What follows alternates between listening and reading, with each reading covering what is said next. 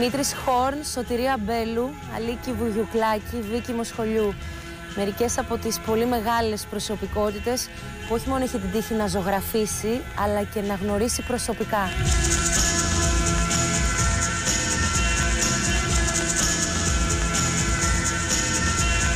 Ο πατέρας μου ήταν μανιάτης και η μητέρα μου από την Νότιο Εύη, από το Μαρμάρι.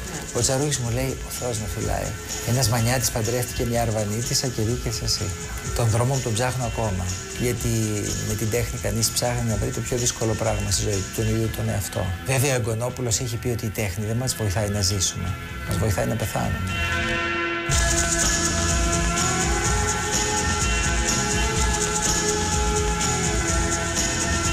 Είστε πάρα πολύ γνωστός ε, τουλάχιστον ε, ε, στις νεότερες γενιές εμάς γιατί ε, σειρά των ε, γραμματοσύμων που έχετε κάνει για τα ελληνικά ταχυδρομεία. Σας άρεσαν. Ναι. Πριν από χρόνια είχα καταθέσει η δουλειά μου στα ΕΛΤΑ. Δεν είχε γίνει όμως καμία συνεργασία, δεν είχα ενδιαφερθεί. Και κάποια στιγμή ξαναείδαμε αυτή τη δουλειά και μου πρότειναν ε, να κάνω με την πρώτη σειρά που ήταν Έλληνες ηθοποιοί. Η δεύτερη; Ε, η πρώτη δε- ήταν το 2009. Το 9, Το η 9. δεύτερη ήταν ε, ε, αφιέρωμα στο ελληνικό λαϊκό τραγούδι. Το 10. Και η τρίτη ήταν το δεύτερο μέρος των Ελλήνων ηθοποιών.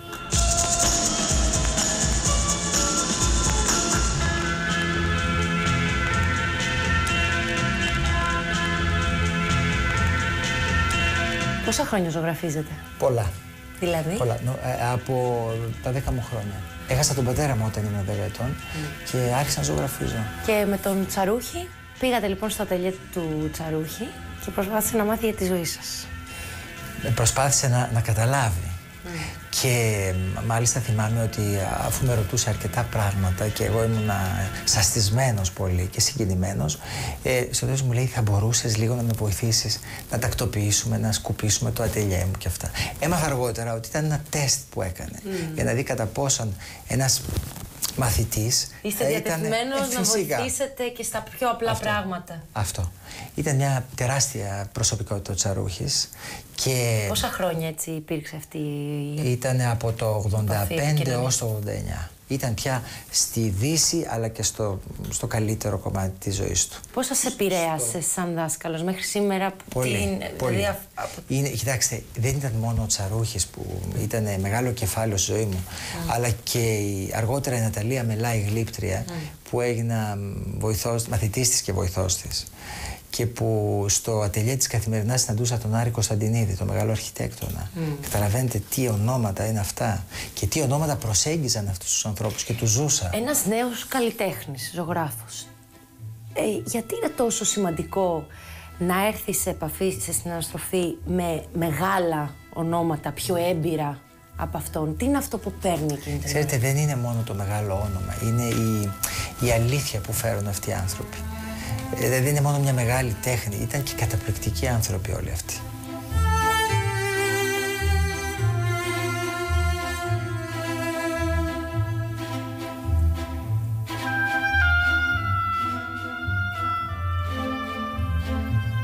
Ο Κωνσταντίνος ο βασιλιάς παντρευόταν.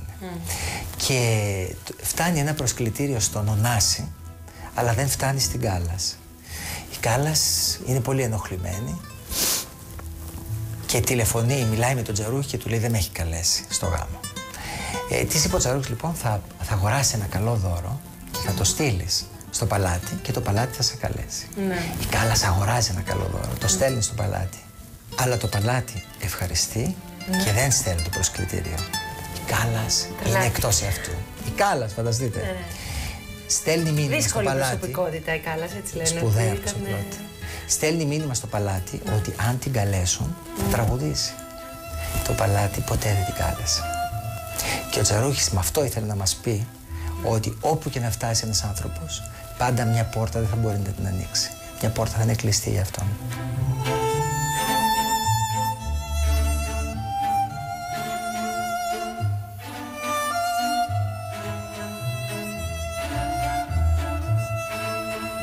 Υπάρχει έτσι αυτή η επικοινωνία και η επαφή μεταξύ των Δεν, ανθρώπων, για με- των ε, τεχνών και των γραμμάτων όπως το βιώσατε εσείς εκείνα τα χρόνια; Δεν ξέρω αν υπάρχουν τέτοιες προσωπικότητες αυτού του διαμετρήματος. Οι νεότερες γενιές ακολούθησαν με μανία το χρήμα. Και αυτό δεν μου πάει καθόλου. Καλό ή κακό; Πολύ κακό για την ψυχή του ανθρώπου, πολύ βολικό για τη ζωή του. Αυτοί οι άνθρωποι που σας ανέφερα είναι άνθρωποι που δούλεψαν πολύ, ε, ε, δυσκολεύτηκαν πολύ οικονομικά, αλλά δεν, δεν τα πρόδωσαν πια τα πράγματα. Ακόμη και στην εποχή της παντοδυναμίας τους δεν ξεπουλήθηκαν. Δεν εννοώ κάτι άλλο για την εποχή μας. Αλλά ίσως αυτός ο πολιτισμός, ο τόσο βιαστικός και ε, όλα πια έχουν γίνει χρήμα, να μην πηγαίνει πολύ. Η κακή διαχείριση του χρήματος μπορεί να σε τρελάνει. Δηλαδή, ο Άρης Κωνσταντινίδης μου έλεγε, παιδί μου, αν ποτέ χτίσεις ένα σπίτι, mm. κοίταξε να χτίσεις το απολύτως απαραίτητο. Ο Τσαρούχης έλεγε, η φτώχεια θέλει καλοπέραση και μεγαλομανία. Αλλά ο Ντοστογεύσκη έλεγε, η ομορφιά θα σώσει τον κόσμο. Τώρα πια δυσκολεύει η ζωή μας οικονομικά, οπότε μπορεί να ξανασκεφτούμε τα πράγματα.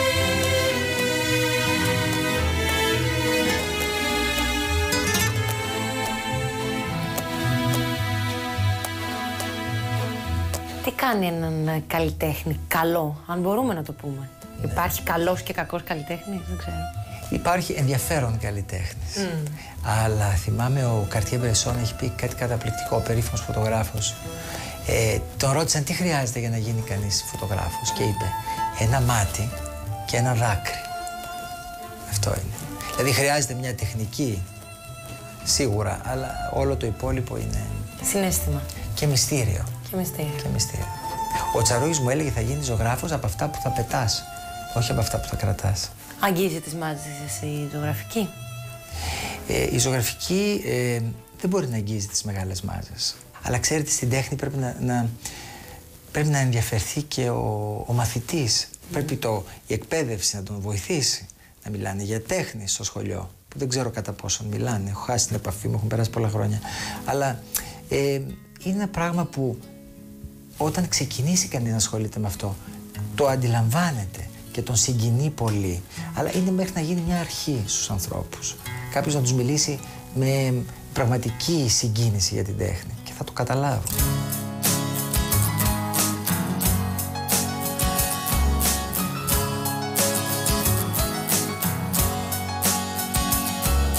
Ακούγοντάς σας, μου ακούγεται ένας εύκολος δρόμος.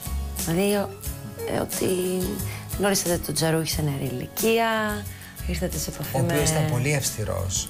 Αυτό που προσπαθώ έτσι λίγο να καταλάβω, ήταν όλο τόσο εύκολα και ρόδινα όπως φαίνονται απ' έξω; Καθόλου. Όποιος μιλάει για αυτά τα πράγματα με ευκολία λέει ένα ψέμα. Όποιος μιλάει για τη ζωή με ευκολία λέει ένα ψέμα. Mm. Είναι πολύ δύσκολα πράγματα. Αλλά αν τα αγαπάς, όλα γίνονται εύκολα. Δίνεις εξετάσεις πρώτα απ' όλα στον εαυτό σου.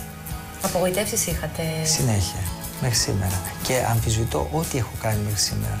Ακόμη και αυτά τα γραμματόσημα που πραγματικά είχαν μεγάλη ε, απήχηση στο κοινό και ε, υπάρχουν πράγματα που. Ναι. Πολλές φορές εσείς ο ίδιος δηλαδή δεν ναι. αποδέχεστε ναι. κάποια πράγματα. Ναι. Και ξέρετε, σε αυτό το ταξίδι είσαι μόνος σου. Δηλαδή, όποια απορία και να έχει ο καλλιτέχνης πάνω στο έργο του ή εκείνη τη στιγμή που δημιουργεί, δεν μπορεί να του τη λύσει κανείς. Είναι ολομόναχος.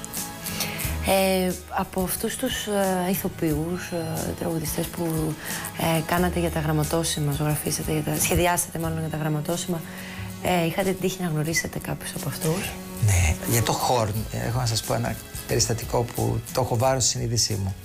Ερχόταν στην Ναταλία Μελά, τη γλύπτη δασκάλα μου.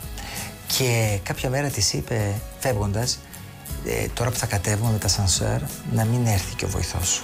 Εγώ τ' άκουσα και απελπίστηκα. Λέω, το τσάκισε. τσάκισε και σκέφτηκα ότι το κάνει ταξικά επειδή είμαι βοηθός και είμαι ένα νέο παιδί και εργαζόμενο. Πράγματι δεν κατέβηκα με τα σανσέρ, αλλά όταν τηλεφωνούσε ο Χόρν στη Μελά, εγώ έλεγα ποιος κύριος της ζητεί; Σήκωνα το τηλέφωνο. Φυσικά τον γνώριζα, δεν υπήρξε τέτοια φωνή άλλη. Μου έλεγε Χόρν.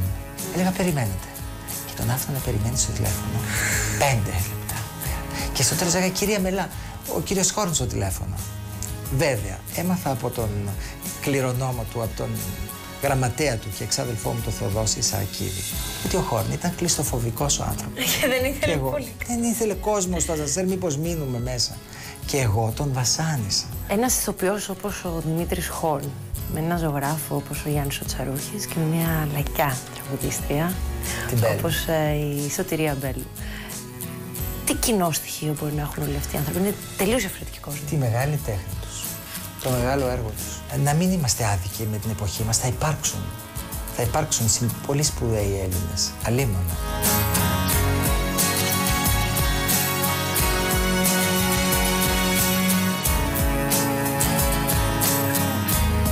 Νομίζω ότι η Ελλάδα πέρασε πάντα δύσκολα χρόνια. Πάντα περνούσε δύσκολα χρόνια. Είναι ένας ευλογημένος τόπος που τον φρονούν και κάνουν ό,τι μπορούν. Δεν θέλω να πω ότι υπάρχει ένα, ένα ναι. οργανωμένο σχέδιο. Όχι. Αλλά δεν υπάρχει. Σαν την Ελλάδα δεν υπάρχει. Έχει τρομερό ενδιαφέρον mm. αυτή η αυτοκαταστροφή που έχουμε, mm. αλλά και η δύναμη και η ευλογία.